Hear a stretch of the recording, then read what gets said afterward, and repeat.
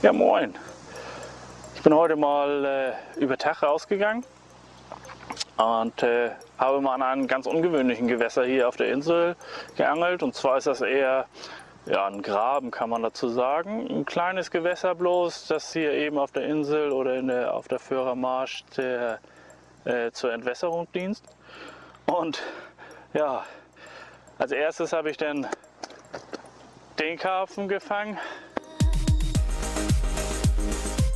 Dann kam der große Spiegler. Und jetzt zeige ich euch mal was, da hätte ich nie mit gerechnet. Als erstes, oh komm her, als erstes kam dieser, upsala,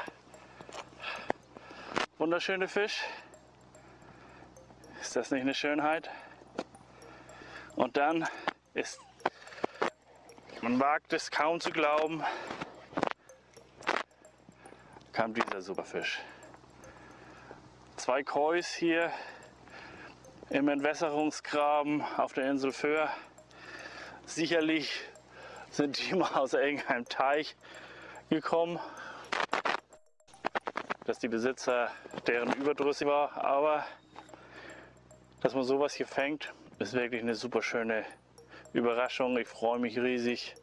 Das ist, glaube ich, mal was Besonderes. Und an einem Tag gleich zwei so eine besonderen Fische. Doch, das sind die sogenannten Sternstunden.